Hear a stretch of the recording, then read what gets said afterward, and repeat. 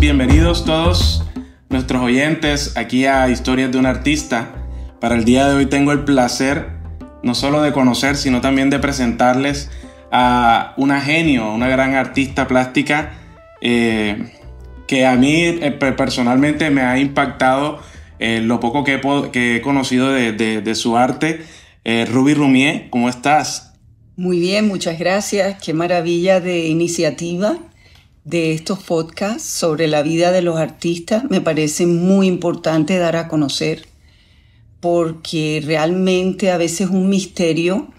Y no solamente eso, sino que yo pienso que los procesos de un artista a veces se malinterpretan. Así es. Y se, y se creen mucho más fáciles, mucho más, eh, digamos, cortos de lo que a veces son y, no se mira el trayecto, el tiempo eh, de, estudio, de investigación, de, un día más otro, de la construcción de toda una vida de un trabajo, sino que se ven los resultados a corto plazo y simplemente el tema del éxito como, como de alguna manera la, el objetivo principal. Y yo creo que es muy importante dar a ver esos eh, pequeños saltos, esos pequeños pasos, esas frustraciones por las que todos tenemos que pasar para de repente llegar a algo. Totalmente. wow, qué profundo. Realmente eh, empezamos con un, pie derecho eh, en este programa de hoy, de verdad. Qué palabras tan profundas, sobre todo porque el día de hoy se piensa el arte como la inmediatez, como algo que tiene que ser eh, en dos, tres segundos, en dos, tres días, en dos, tres meses y creemos que es simplemente hacer, vender y ya. Eh, eh, el, punto álgido que hablábamos detrás de cámaras de, del arte y el comercio y del vender y hacer algo que realmente exprese. cuéntanos, Ruby, ¿cómo descubriste el arte plástico en tu vida? Ay, es una pregunta eh, bastante profunda, densa. Eh, fíjate, voy a tratar de articular porque toda una vida es tan difícil de resumir, tan difícil incluso de uno tener consciente. Yo creo, me atrevería a decir que, que para uno ser un artista tiene que haber un quiebre interior. Cuando yo hablo de un quiebre puede ser una herida, pero no es una herida que uno busque, es una herida con la que uno deviene, con la que uno tiene, que de alguna manera lo convierte a uno en un ser mucho más perceptivo, eh, mucho más empático, mucho más sensible hacia lo injusto, hacia, hacia lo que sucede, lo pone a uno ese quiebre que de alguna manera es un límite entre, entre lo que es obediencia y desobediencia de alguna manera. Hay, una, hay un tema de la curiosidad muy importante en el arte. Y, te digo la palabra curiosidad porque la palabra curiosidad la, vemos como algo muy eh, incluso superficial. Y yo encuentro que, que, la palabra, que, que, ser curioso es fundamental en la vida porque es lo que nos lleva a investigar, a profundizar, a ir más adentro. Y el tema de la herida, aunque suene también algo como un poco truculento, como los poetas malditos y todo eso, no necesariamente, no es una herida que uno busque, es algo que está ahí. Y que hace que, que lo convierta a uno en una necesidad de expresarse para incluso entender por qué esa herida de alguna forma, para comprender un poco el mundo. Hay una necesidad muy fuerte de expresarse. Y está el tema de la curiosidad. Y eso eh, desde pequeña yo lo sentí, yo, yo era muy solitaria, eh, no era de muchas amigas, todavía no lo soy, o sea, yo creo que uno sigue siendo, la médula de uno se sigue manteniendo con el pasar del tiempo. De alguna manera soy una mujer más madura, con muchas experiencias, pero la Ruby de los cinco años se mantiene en mí, ¿sabes? Esa, esa Ruby curiosa, sensible, vulnerable, eh, que tiembla como un pajarito ante, ante muchas cosas. Eh, es una Ruby que todavía se mantiene, que, que todavía alimento, que todavía eh, que he aprendido unas técnicas para, para aprender a visibilizar eso que está dentro, pero, pero sigue ahí, sigue, sigue construyéndose, sigue em, alimentándose todos los días. Y, y, tal vez siempre lo sentí de alguna forma que, que yo no podía hacer otra cosa. No, no, no, no podría. No te hallabas en algo distinto. no, es como si fuera a respirar, es como si tú me quitas el arte, es como si me quitaras la vida. Una cosa y la otra van, van juntas, van. No hay un límite entre una y la otra. no lo hay. El arte y tu vida están perfectamente equilibradas. Están yo no, la palabra perfecta no está en mi vida, en ninguna parte. Eso te lo digo. Pero, digamos, trato de que haya una armonía entre una y la otra y, y, van completamente entremezcladas de alguna forma.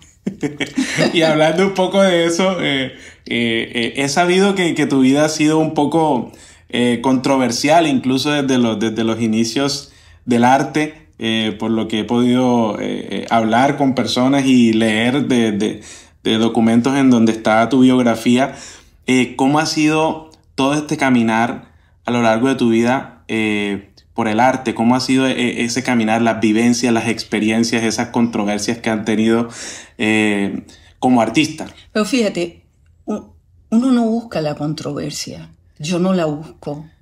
No busco el éxito, no busco la fama, no busco el dinero.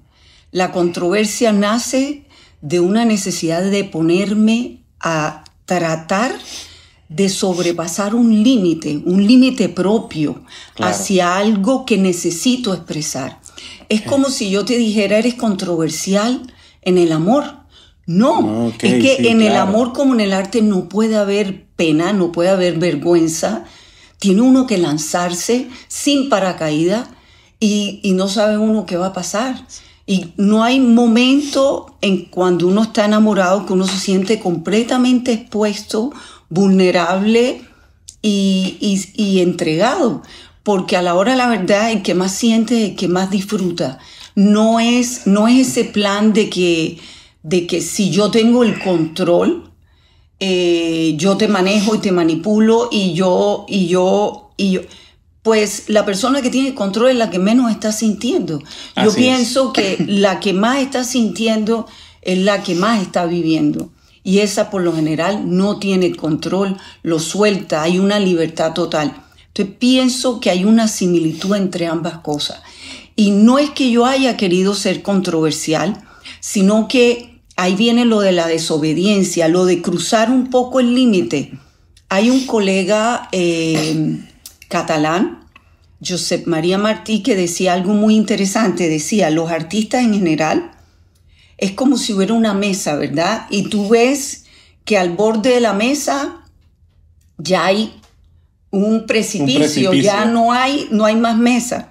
Y el artista se lanza en ese borde y se lanza como un kamikaze, no es que se va a lanzar en un jet privado con, paracaídas, con, con, champaña y con paracaídas y con, y con una chequera bien pujante, no, se lanza. Y cuando se lanza, Hep aparece la magia. Esa mesa que hasta aquí llegaba se extiende un poco más y tú descubres algo nuevo y no caes pero hay que lanzarse. Y ese es, pero también para lanzarse se necesita mucho coraje. Se necesita coraje, tú no sabes que vas a encontrar ese otro lado. Es como si soltaras una liana y no tienes ni idea cuál es la otra que vas a agarrar. Mm. Pero tienes que tener ese, esa confianza de alguna manera. Y también, ¿por qué no la, la, el, el, el no autoflagelarte si te equivocas? Esa es otra cosa. Creemos que tenemos que nacer aprendiendo a todo Hoy en día yo te digo, hay unos cuadros que andan por ahí míos y yo digo, si tuviera plata los compro y los quemo, porque no me gustan, ¿me entiendes? Pero hay cosas maravillosas, ¿me entiendes? Hay cosas que, que han salido de mí que yo las veo y digo, wow, ¿en qué momento salió eso? Es como si me hubieran poseído y no sé en qué momento salió eso, eso de mí.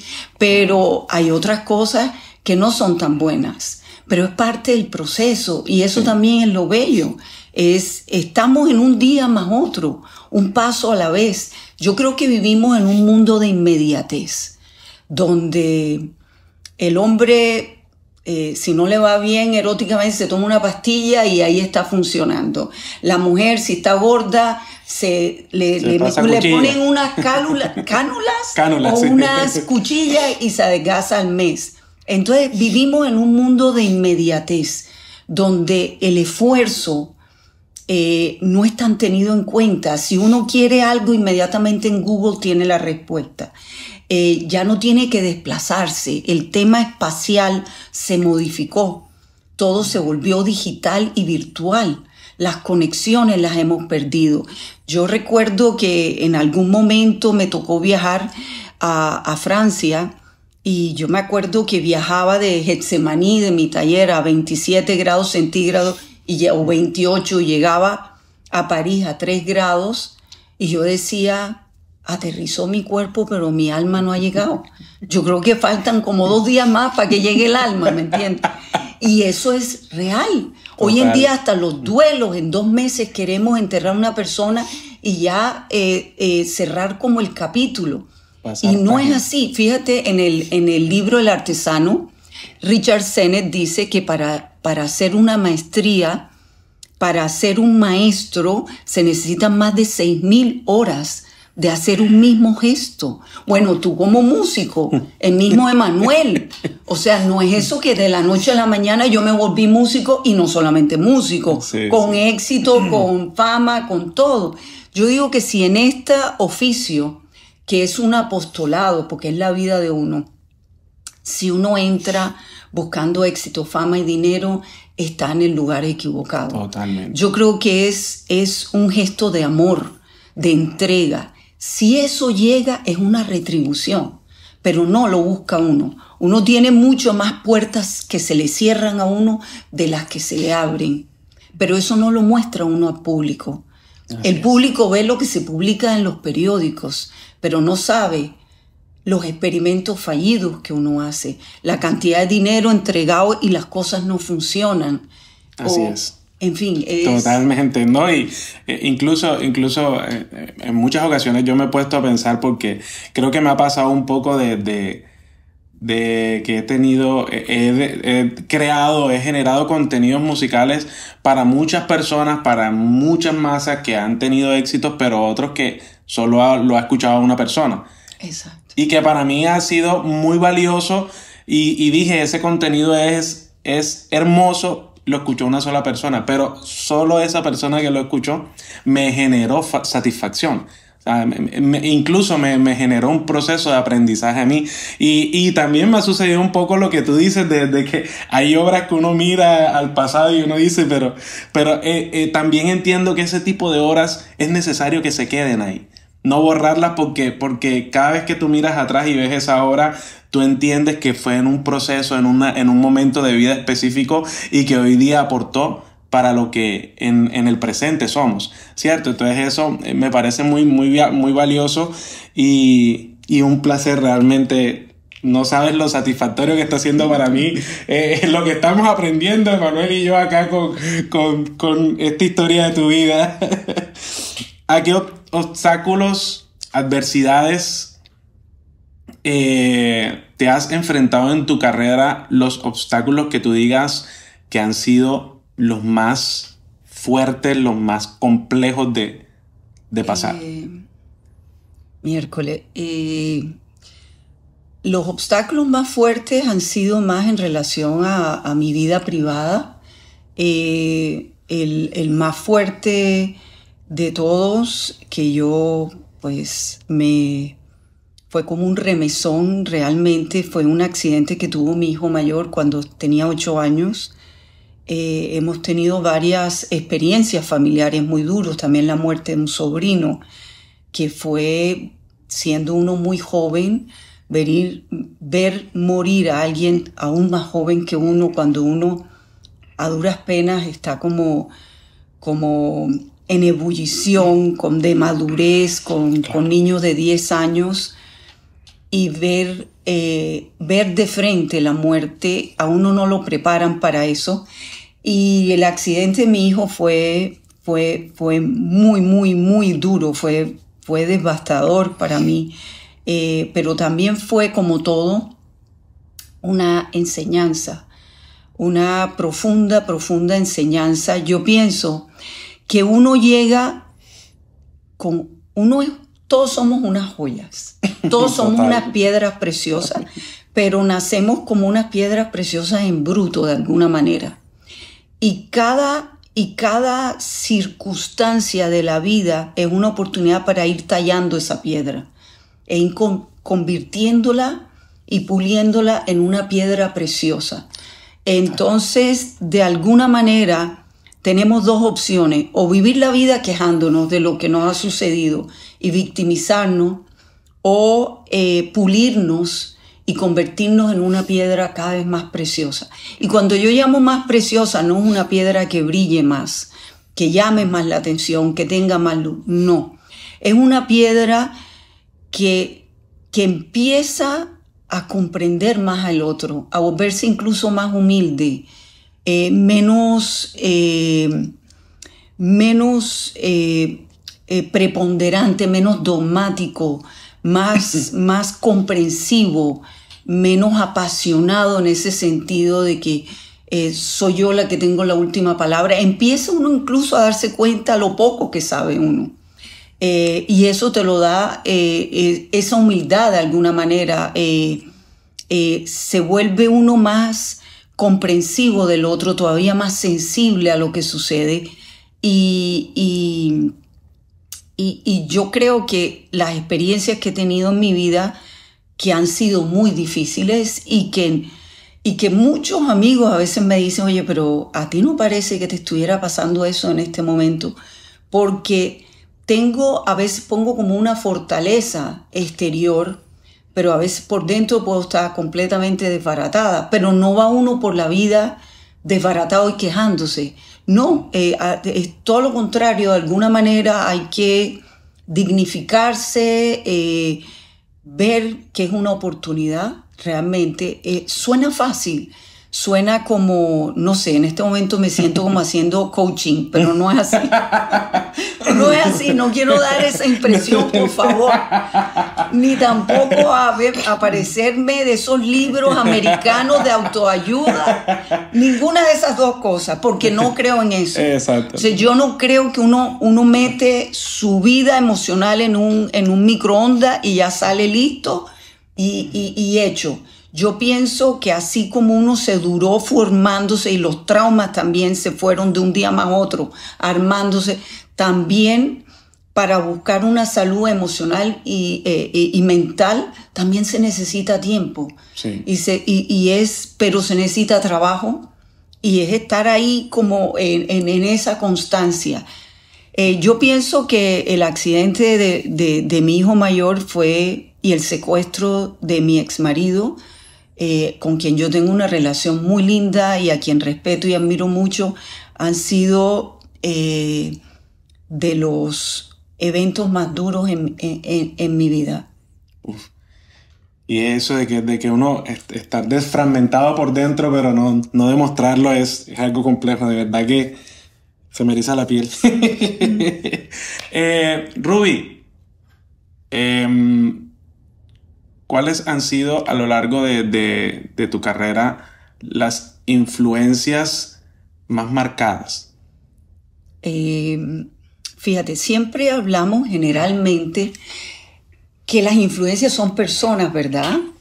Generalmente. Sí, generalmente, pero... Exacto, pero eh, también eh, han podido ser personas y también, digamos, objetos también. U obras. Por eso, eh, Eh, yo em, desde pequeña jugaba mucho, eh, con quien yo tuve una energía muy linda, con mi abuela paterna. Ella no tuvo hija mujer, solamente tuvo un hijo y tuvimos una empatía muy grande. Ella era muy creativa y de alguna manera enganchamos un poco en, esa parte ambas, muy histriónica, muy creativa. Y, y, yo creo que mi abuela Felipa, se llamaba Felipa María Bocio, con ella, eh, eh, digamos, construí parte de mi, de mi, de mi armadura creativa de artista. También, pues, Tuve un padre muy creativo, fue psiquiatra, pero era muy histriónico y muy creativo en su historia y una mamá también eh, muy, hábil manualmente, también creativa y profesora de historia del arte. Entonces, de alguna manera, mi familia eh, hubo, aunque el arte era como, aunque hubiera el arte tangencialmente, estaba muy presente también había como que el arte no era una manera para hacer un vivir. Entonces no era que yo tuviera, o si tú hacías arte tenías que ser convencional, ya eh, realista, retratista, pero si tú te salías de los esquemas, ya tú estabas entrando en un campo minado. Y yo creo que el arte, como en la vida, es caminar a veces por un campo minado, con mucho respeto, no solamente por ti, por tu trabajo, sino por el público que va a ver tu trabajo. Yo quiero hacer énfasis en eso porque el otro día alguien me hablaba de que soy muy eh, preciosista o muy minuciosa, obsesiva y perfeccionista en mis montajes. Y yo le dije, sí, qué bueno que te des cuenta porque tú me importas. Y me importa y todos los que van a ver mi exposición para mí son muy importantes y merecen un respeto y merecen lo mejor de mí. Y yo no escatimo en dar lo mejor. Entonces, eh, pues eh, pienso que, que desde mi infancia a hoy, volviendo a tu pregunta, está mi familia, algunos más que otros, pero también artistas contemporáneas como Anne Hamilton, la americana, que me conmueve mucho, Shirin Nesat, la iraní que vive en Nueva York, eh, colombiana, pues está Doris Salcedo, Débora Arango, por su coraje, su valentía, ambas en hacer lo que hacen, en meterse en temas difíciles y, hacerlo sobre todo con una poesía en su, trabajo. Eh, sí, eh, por ejemplo, Caravaggio, ya yendo a, otra época, o volviendo a la nuestra, Bill Baiola eh, en sus videos me conmueve tremendamente. Pues hay muchos artistas hoy y también escritores que, o poetas que me inspiran y me conmueven cotidianamente. Yo creo que la sensibilidad es un músculo que hay que estimularlo, eh, no es algo que ya uno nació y se sienta a rascarse la barriga y ya pues todo viene por, por osmosis y todo llega fácilmente, no. Hay que estar cuestionándose a la médula, ser muy honesto, eh, leer mucho, encontrarse con gente que te cuestione, que sea contestataria contigo, que tengan discusiones profundas, que no simplemente te admiren y, te, y tú escuches lo que tú quieras escuchar, sino que de vez en cuando te den tu palo en la cabeza y te digan, pues no estoy de acuerdo y tú que te crees y esto y lo otro, y tú mires, o que también te digan, porque hay momentos en que tú dices, Dios mío, esto está horroroso, esto que estoy haciendo, qué cosa, porque tú pierdes la objetividad o de tanto verlo lo, lo, lo, lo, lo, de, lo, lo minimizas y de repente viene alguien y te dice, no, es maravilloso, sigue por donde vas. Entonces eso hay que respetarlo y, bueno, es como, eh, tiene uno muy poca gente de esas alrededor de uno. El, artista yo creo que por naturaleza, me atrevo a decirlo con tu permiso, eh, tiende a tener una vida solitaria. Eh, nosotros los artistas creo que en el 99% del tiempo nos, nos, desarrollamos en la soledad. Y creer en los procesos es importante. Yo, yo creo en los procesos, sé que, que, que, que la vida misma es un proceso. Total. Desde, desde que nosotros nacemos, estamos muriendo, realmente. Cada vez que uno respira, tus células se están oxidando. Y, cada, vez, cada vez que pasa el tiempo, tú te estás muriendo. Pero eh, el punto no es que cada día que pase te estés muriendo, sino qué estás haciendo con tu vida cada día que pasa. ¿Cómo estás armando eso que quizás estuvo fragmentado en algún momento cuando naciste por algo que te sucedió, se desfragmentó? ¿Y cómo refragmentaste o rearmaste o estás rearmando a lo largo de tu vida todo eso que ha sucedido eh, eh, para mí es, es, es, algo que es importante entenderlo, que las cosas no son, no son ya, no son en el aquí y en el ahora, en este momento se, se desarrollan y punto. Eh, las cosas creo que, y, y, en la creatividad también es así, el proceso de creación también es así, es, lo tienes en el pensamiento, lo vas diseñando, lo pasas a, a lo manual hasta que en un tiempo X, Y, Z ya lo puedes ver desarrollado no es de la noche a la mañana. O, sea, cada proceso es diferente. Sí, totalmente, cada, totalmente. Cada obra tiene su propio, es como, como los hijos. O sea, y también el proceso de evolución de un trabajo es muy delicado porque es como si tú, pues el ejemplo que te voy a dar, no sé si viene mucho al caso, pero mi mente funciona muy raro, pero vamos a ver si logro. o sea, para mí es, imagínate tú una mujer embarazada y dice, pues ella se imagina, ¿no? Que el hijo le va a venir de un metro noventa, con la cara así, la cara así, y de pronto se ve el embrión y es algo muy diferente lo que viene. Y dice, esta vaina no me gusta, lo voy a echar para afuera. Y no es así. No es así. Es el hijo de uno. Y si viene chatico, gordito, bajito, ancho, flaco, largo, lo que sea, el hijo de uno, ¿entiendes? Y uno lo quiere. Y es de alguna manera ese es el trabajo de uno. Y cuando uno está en el proceso es como un embrión, es de una fragilidad y una vulnerabilidad que uno no puede estar mostrando ni develándolo. Tiene uno que protegerlo y no perder un poco el norte hacia donde va. Yo creo que tienes como una otra pregunta que estás viendo que no quieres que, se, que se te quede en el tintero. no, no, no, no, dale, dale vamos para adelante, no. te preocupes. no, ya lo único que viene son planes presentes y planes futuros. Miércoles, bueno, en el presente eh, tengo dos exposiciones que eh, los invito a todos a que vayan. Eh, son dos trabajos muy diferentes, pero curiosamente se superpusieron en un momento en que estaba trabajando simultáneamente dos al mismo tiempo. Eso es muy raro que me, que me haya pasado. Y además de dos trabajos tan diferentes. Uno tiene que ver con lo que acabas de decir, con la muerte. Una vez yo escribí muerte, gracias por existir porque me ayudas a vivir. Sin la muerte no hay vida. Así es. El poeta eh, eh, Sabines, el mexicano, decía, ¿quién tatuó la palabra muerte en la planta de mis pies el día de mi nacimiento? Y para mí es fundamental trabajar con la muerte. La muerte siempre me está respirando en la nuca, pero no de manera dramática, todo, todo lo contrario, curiosamente. O sea, la muerte entre más conciencia tengo de la muerte, más conciencia tengo de la vida. Disfruto hasta la brisa cuando, cuando pasa por el árbol de el mamonero, el mamón que tengo en mi casa y suenan como cascabeles la soa. Disfruto hasta de lo más mínimo porque tengo esa conciencia. Ya ambos padres míos murieron. Tengo amigos que he querido mucho que han muerto y la, la, la conciencia de la vida la tengo muy despierta. Entonces, este proyecto tiene que ver con la indiferencia, con la muerte y con el tiempo.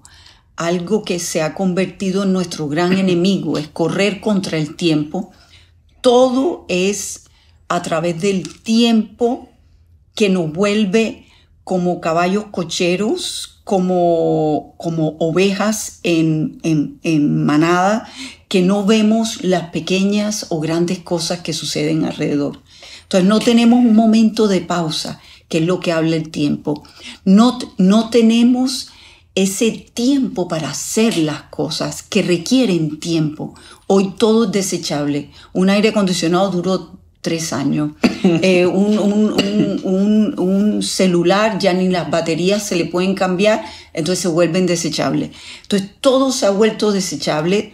Estamos en una, en una sociedad de consumo muy arraigado donde creemos que elegimos libremente, pero estamos todos a la hora de la verdad manipulados bajo esa sociedad y nos tienen agarrado de la nariz como las vacas y estamos eh, dejando pasar lo más bello. Hace tres años y medio mi mamá estaba enferma y un día me miró y me dijo, me hizo una pregunta y me dijo, me miró a los ojos, me dijo, mija, ¿esto es todo? Yo no supe qué decirle, pero me di cuenta en ese momento que ella tenía una conciencia profunda de que la vida ya se había pasado y de que eso era todo y que se le había ido en un espabilar. Entonces, en esta, en esta exposición están las palomas como testigo justamente de ese pasar del tiempo, de la indiferencia ante la muerte de ellas por una experiencia que tuve, de, de, de, la indiferencia, ellas como símbolo de la indiferencia del espíritu humano, y el tiempo donde las únicas palomas que están vivas están encerradas en el tiempo, golpeándose contra el vidrio queriendo salir. Entonces esa es la, exposición que está en el museo y está la otra exposición que es sobre eh, ese mirarnos y, querer vernos quiénes somos realmente, el, sobre todo en especial, no solamente eh, Colombia como país de regiones, sino el Caribe colombiano. Siempre hemos sido rotulados, estigmatizados de quiénes somos, cómo somos y cómo nos ven. Y llega un momento que tú no sabes qué es primero, si realmente somos así o por habernos dicho que somos así, nosotros nos, hemos acomodado a lo que nos han dicho. Entonces es. es como cuestionarnos a la médula, ¿qué somos? Y buscando eso en el siglo XIX llegamos a la, comisión coreográfica, donde es la primera expedición que se hace como joven país independiente y donde durante nueve años examinaron el país, pero cuando vienen a examinar la costa caribe muere el director Agustín Codazzi y no queda registrado la costa en láminas. Las láminas de la, del país, el Caribe colombiano está ausente.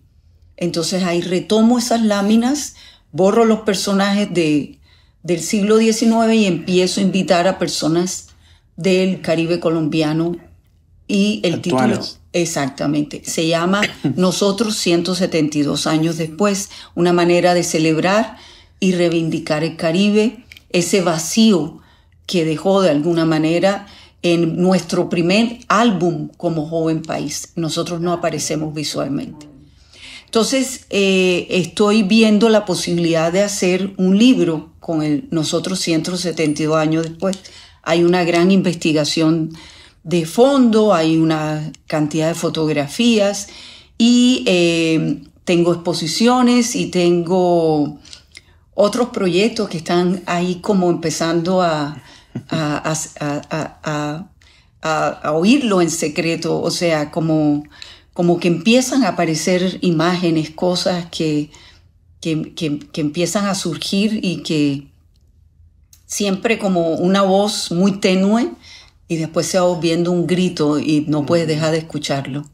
y retomando lo de los procesos, tengo que decírtelo, no se imagina uno realmente uno ve la obra hermosa, espectacular, el reloj bonito. Yo vi el video, pues aquí se grabó. Sí, claro. Ah, meto la cuña, aquí se grabó parte del paisaje sonoro de, la obra. Y uno ve la obra hermosa, ves los cuadros esos espectaculares, pero uno no se imagina como, como, como espectador, por decirlo así, no se imagina uno el trasfondo y todo el proceso que ha existido para la creación de esa obra y es ahí en donde está el valor real del artista. Es lo que, lo que, lo que hace a las personas eh, saliendo del, esquema de lo valioso, de lo exitoso, es lo que hace a la persona particular, al artista particular. Magnífico, de verdad. Eh, puntualmente hay algo que no volverías a hacer si pudieras retroceder el tiempo. Yo no creo que no hubiera algo que no volviera a hacer. Yo lo que he hecho es lo que me ha convertido en quien soy hoy. He cometido errores, he cometido, he tenido muchos aciertos, muchos errores. Eh, me, me, hubiera gustado haber aprendido a escucharme y respetar esa voz tenue eh, desde mucho antes. Yo creo que eh, no nos enseñan a eso. O sea, hay muchas cosas, o sea, yo, yo creo que el convertirse en, en ser humano es un día a día, un trabajo cotidiano, pero igual desde pequeño eh, yo me recuerdo que si yo cogía y me subía en la paredilla, y eso lo hacía yo también con mis hijos a veces, decía, Ruby, bájate de ahí, no inventes. Ya, la palabra no, inventes. Es que ella es una inventora, está buscando, está buscando caerte y después, o sea, son frases que aunque uno no cree, van quedando en el imaginario. El tiempo es oro, no puede uno perder el tiempo. Y en el arte uno lo que hace es perder el tiempo, porque la investigación, la contemplación, el, pensar en una obra, el hacer bosquejos de una obra, el hacer aciertos y desaciertos, el, hay días en que las cosas no salen, no salen, no salen y realmente tú no sabes cuándo van a salir.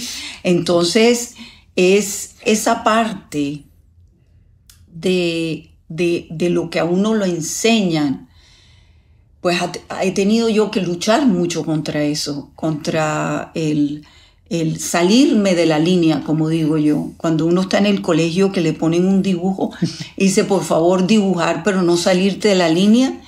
Yo lo que y empecé a hacer una cantidad de ejercicios, decía, y me salí de la línea, y me salí de la línea, y me salí de la línea, y me quiero salir de la línea, ¿me entiendes? Es todo lo contrario, porque es la única manera, es estirar ese límite. Digamos eso, eh, sobre todo que aunque tú crees, tú dices, bueno, ya es artista, ya se escucha, que esto, pero en el mundo del arte también hay una cantidad de voces de sirenas infinita, porque hay muchas modas que te están tocando, que te están hablando, que te están diciendo, Ruby no encaja en esto, Ruby no encaja en lo otro. Y tú dices, pero ¿en qué tengo que encajar? Yo tengo que seguir mi propia voz. Y me gustaría cerrar con una frase de Martha Graham, que la coreógrafa que decía, hay un solo tú en esta vida. Y si ese solo tú no da lo que tiene, cuando se vaya y se muera, todo lo que ese solo tú tiene se lo lleva consigo. Y se va y se pierde. Y nunca lo diste. Entonces hay que escucharse y escuchar esa voz por muy tenue que sea. Totalmente. Y bueno, no siendo más, Ruby, eh, te agradecemos realmente por atender a, nuestro llamado, atender al llamado de Manuel, de mi persona. Eh, estamos complacidos, realmente ha sido muy gratificante y, y de mucho aprendizaje para, para nosotros, para Historia de un Artista. Ha sido de mucho aprendizaje tenerte aquí con nosotros, de verdad, muy agradecidos con tu presencia y Gracias también a las personas que nos están oyendo y que nos están escuchando y que nos demos cuenta que eh, no solamente es ver la obra del artista, sino que cuando nos adentramos a conocer un poco esa persona, la persona que es ese artista, nos llevamos muchas sorpresas. Hasta aquí el episodio de hoy. Muchísimas gracias a todos. Nos vemos en un próximo episodio.